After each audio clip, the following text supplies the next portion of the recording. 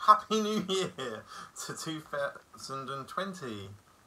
I'm Kevin Gordon from Digital Technology Lab. We have just got into Net Magazine for the second time. So Net Magazine, drum roll, drum roll, drum roll. Here we go. That's that's us. That's me.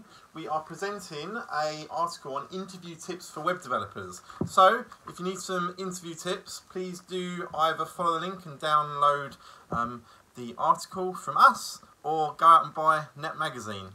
And uh, I wish you every luck if you are going for a new job. Um, have an amazing 2020 and um, wish you all the best in 2020.